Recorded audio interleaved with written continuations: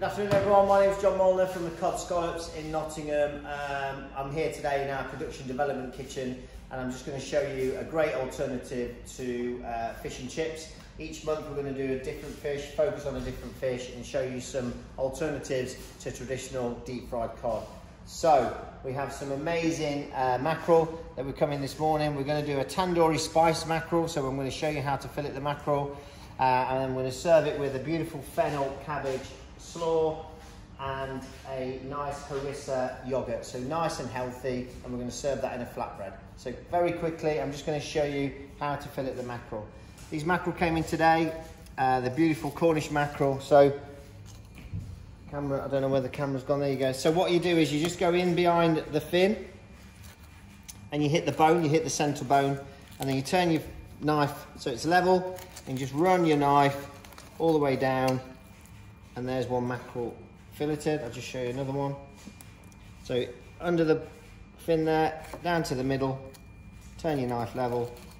And as long as your knife is running along the bone, you will end up with a nice fillet of mackerel with the fish not being on the bone. So that's what you want to aim for. You want to aim for a nice fillet of mackerel, like so.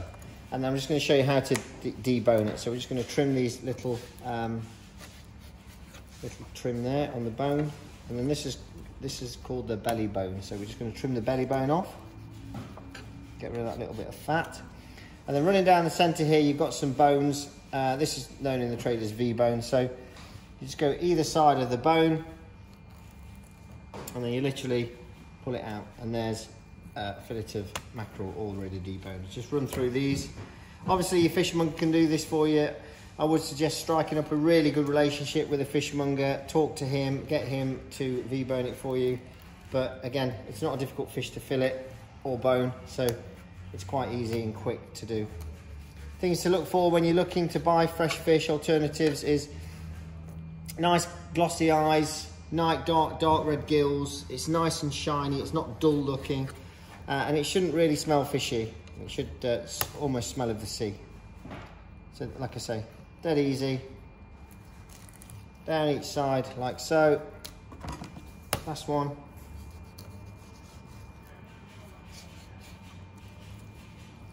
Bones are there, look, either side of the bones.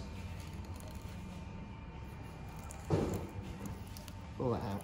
I'm just going to quickly dust these with, um, this is a tandoori spice mix, it's made for us.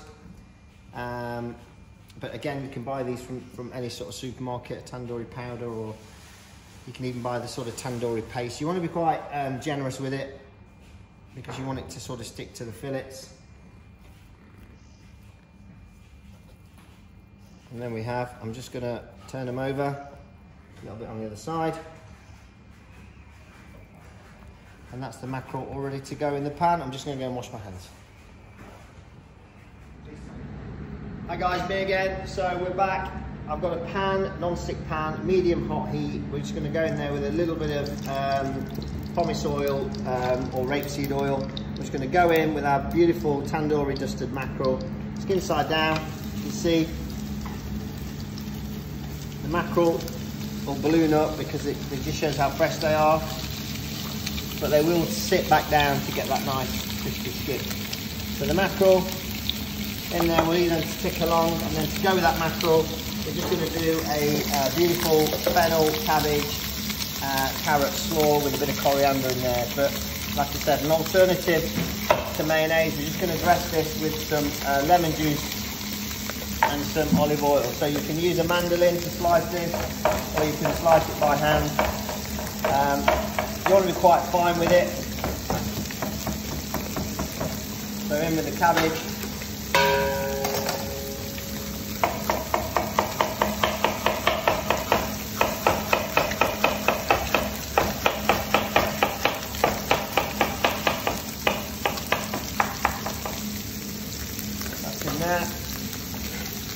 And then with the carrot, I'm just going to peel the carrot. And then I'm just going to peel the peeled carrot,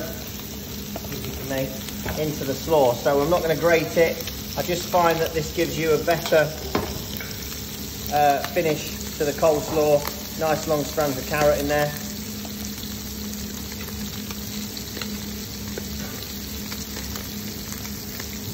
Just like so.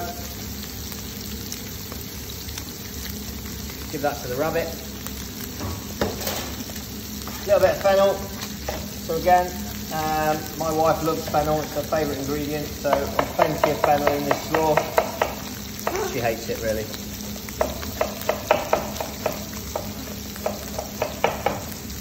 Want to impress her, just give her a load of fennel. And then we're going to get a little bit of coriander.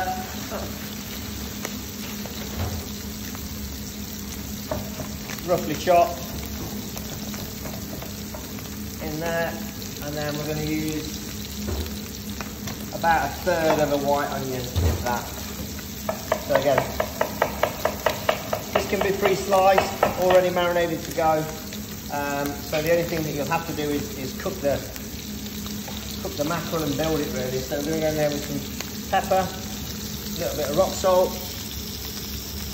Going to get a lemon, zest of a lemon, you can see I've still not touched the mackerel. The mackerel's there happily sitting along, medium hot heat. And we're just gonna hit the floor with a load of lemon juice. So probably I want the juice of a good large lemon. Maybe even another half or quarter. Enough. And then literally just going to leave that to macerate. So what that does is the lemon juice will break down and start um, softening the cabbage and the, and the fennel and the carrot. But you get a really nice, fresh, zingy uh, coleslaw. Great with, with obviously anything spice cut through, and it also helps cut through the fat of the mackerel.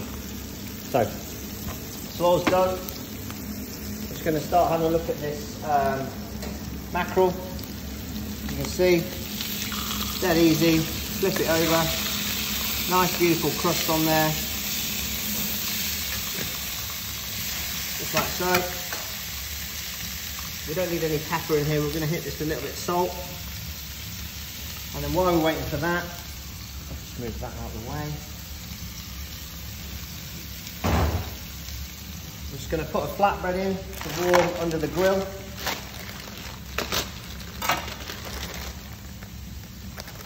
Again, you can just pop them in your hot cabinet, your frying ranges. And then we're just gonna finish it. We're just gonna have a little bit of harissa yogurt. So this is a low fat Greek yogurt. This is a very small container of harissa, catering size. So harissa paste, you can buy in most supermarkets, beautiful Moroccan spice. Um, really, really good with, with sort of spice dishes. So we're just gonna mix that up. And then we're just going to add a tiny bit of lemon juice to that. And then the rest of the lemon juice,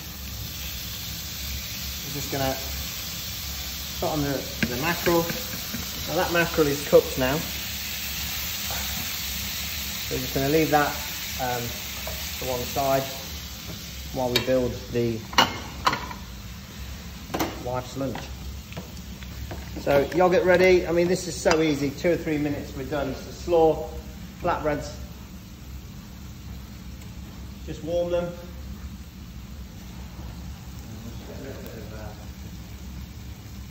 garnish. And like I say, this, this I think this could work on on uh, on any fish and chip menu at all. So here we go. Flatbread.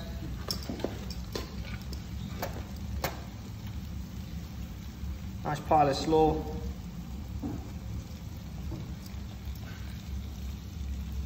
Try and get a little bit of everything. A couple of fillets of mackerel.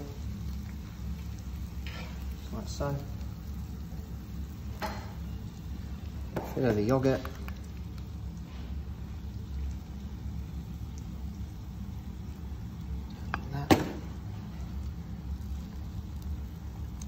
It up,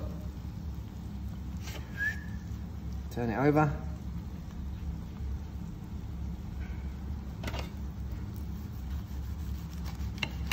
There you have guys, a tandoori spiced mackerel wrap with slaw and harissa yogurt.